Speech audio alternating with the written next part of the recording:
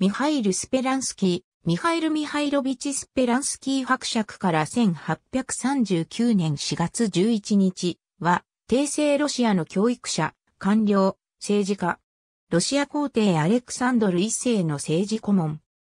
日本では、スペランスキーに対する評価として、自由主義的解明派官僚という印象が強いが、ヨーロッパなどでは、ピョートル大帝からアレクサンドル一世に至るロシアにあって最大級の改革者、ロシア自由主義の父と称されるほどの高い評価を受けている。1772年1月1日、ウラジーミル県に村司祭の子として生まれる。地元の神学校を経て、サンクトペテルブルクのアレクサンドルネフスキー、進学大学を卒業し、同大学教授となり、数学と物理学を教えた。1806年スペランスキーの再起重王ナチ政は、ロシア政府に注目されることとなり、アレクサンドル・クラーキン公爵の秘書となった。クラーキン公に主官後は、官僚として、その有能さを随所に発揮することとなる。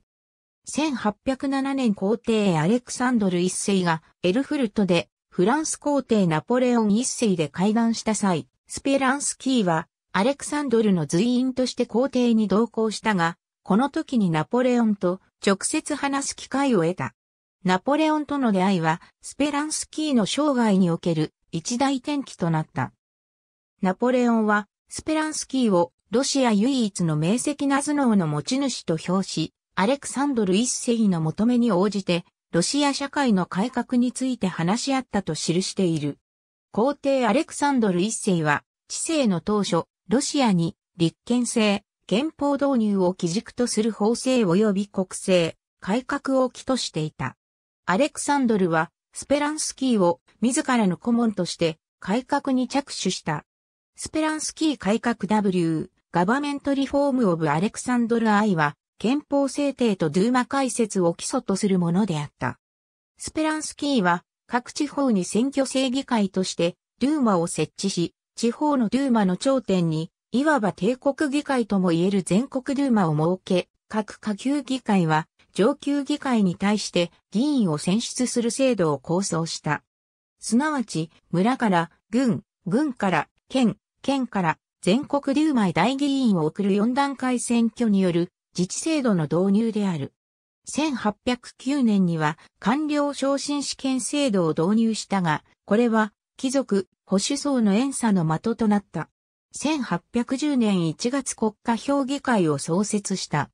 国家評議会は19世紀から20世紀初頭、皇帝先生が濃厚なロシアにあって限定的とは、いえ立憲的政治制度として機能した。以上の改革は、ロシアの内閣をはじめとする行政機関、官僚制の基礎形成に大きな寄与をなした。ドゥーマの名称を推したのは、スペランスキーであったし、1864年地方自治機関として導入されたゼムストボもスペランスキーの構想であった。スペランスキーの立憲制導入を目指した努力は、ロシア帝国の支配下に組み込まれたポーランド立憲王国及びフィンランド対抗国に対する皇帝アレクサンドル一世による憲法発布として結実した。1809年から1812年までスペランスキーはアレクサンドル一世の信任を背景に絶大な影響力を保持した。この頃、皇帝は青年時代の友人たちで共に改革案を作成していた秘密委員会のメンバーと別れた。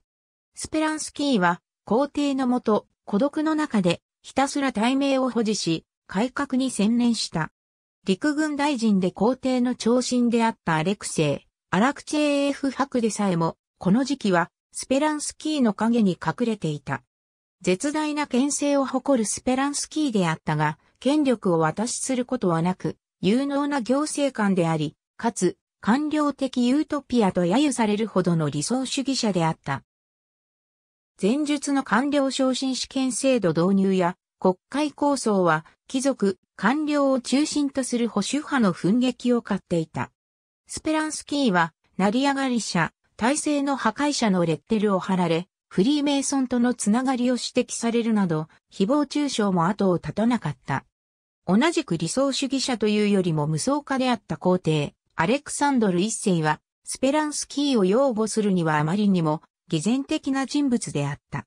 結局、ナポレオン戦争を前にスペランスキーはスケープゴートとされ、1812年祖国戦争直前にスペランスキーを国家顧問から解任しに時にノブゴロド、さらにペルミに追放してしまった。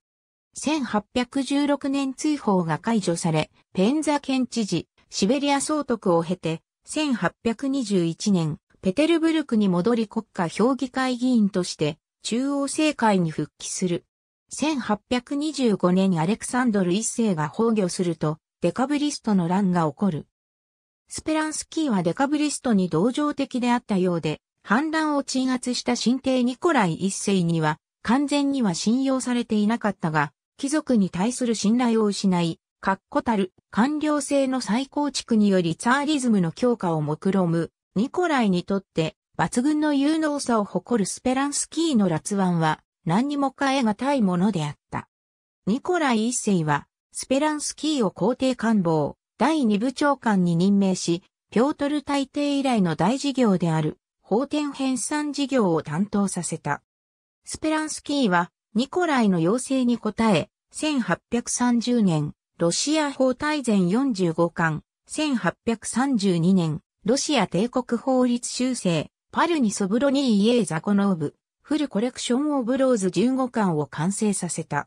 スペランスキーは、この功績を称えられ伯爵位に叙せられた。